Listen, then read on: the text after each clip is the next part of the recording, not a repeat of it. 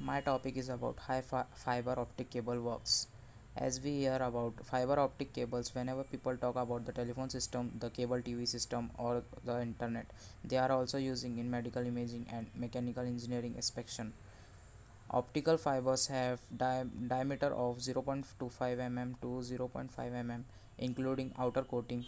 Optical fiber communication take place between 0.8 micrometer to 1.7 micrometer of wavelength of electromagnetic spectrum. Uh, optical fibers have transparent core surrounded by the transparent cladding and the cladding has the protective covering over it.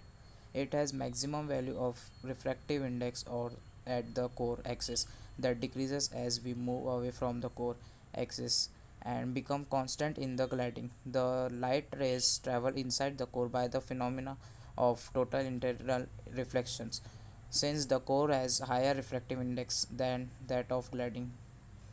Carrier signals as light pulses. Uh, signals converted from electrical to light by special equipments. Example fiber optic transceiver.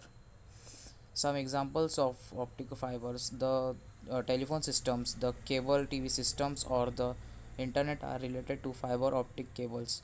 Fiber optic lines are strands of optical pure glass as thin as a human hair. The strands like digital information over long distances. Uh, fiber optic lines are also used in medical imaging and mechanical engineering inspection.